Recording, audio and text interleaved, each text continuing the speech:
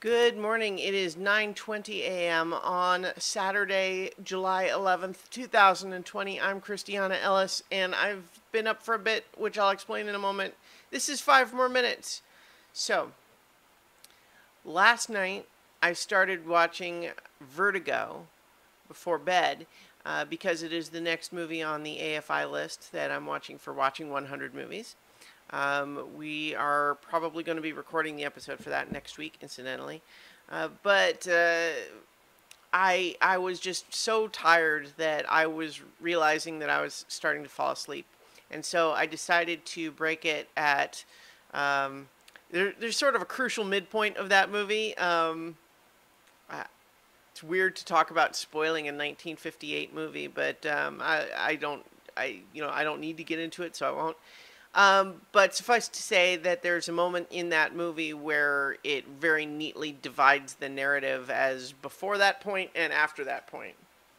And so I decided to stop it there and watch the rest in the morning, and that's what I did. So when I got up, I decided to watch the rest of the movie before recording this because I kind of felt like that's maybe, you know, vertigo is what I wanted to talk about, or at least a little bit.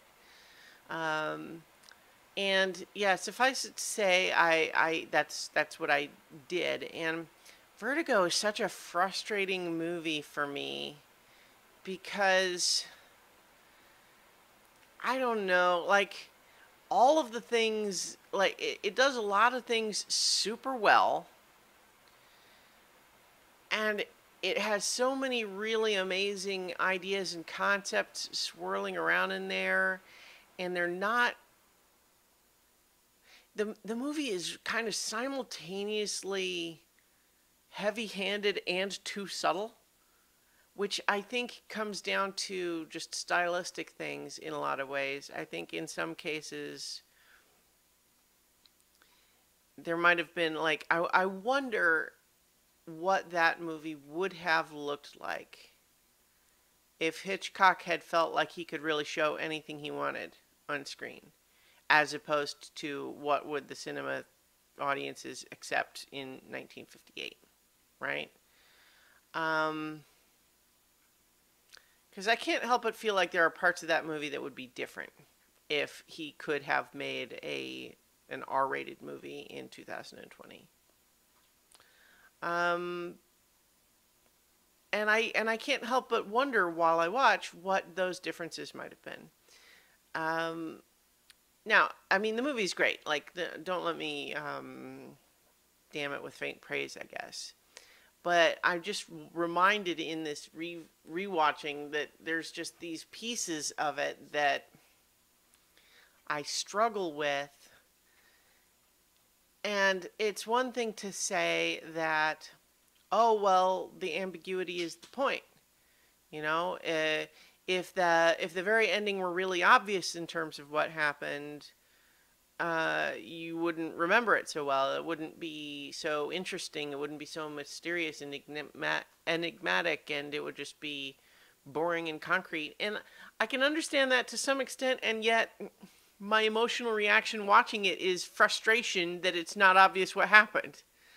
And while we can say, yes, I am more I the ending is more memorable by being ambiguous.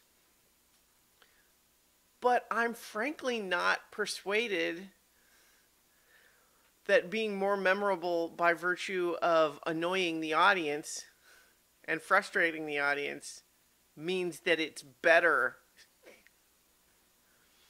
I don't know. It's complicated. It's like the more I kind of think back on it, uh, you know, I don't feel as strongly, but I, I, you know, just just rewatching it, like I just finished rewatching it, I just, I, you know, I can't help but feel like that ending doesn't do what it's trying to do, and that annoys me. and then you you know that there's a million people out there saying, no, no, that's exactly the point it's supposed to be mysterious. And then other people say, no, what are you talking about? It's obvious that it's X. And then someone else says, what? No, or what are you talking about? It's obvious that it's Y. And, and then people have stupid conversations and arguments about that. And supposedly that's why it's a good ending. Now, the fact that there is a lot of really interesting emotion and everything swirling around all of the characters at that moment, like, that's good. And the ambiguity of why they're feeling what they're feeling and what they're feeling in the moment and why that how that drives their behavior, all of that's good. My frustration, I think, just comes down to it not being obvious just based on what's happening on the screen. Like, what just happened? the details matter and we are denied them, and that pisses me off. Anyway, I guess I'll talk more about that uh, with Mike in Watching 100 Movies when we record for that. But in the meantime, that's what I'm thinking about. So I'll, um, I hope that you guys, uh, you know, have a good weekend. Tomorrow, of course, I'll be continuing my rewatch of Legend of Korra uh, with season two, episode three, Civil Wars Part One. And in the meantime, so I'll talk to you tomorrow for five more minutes.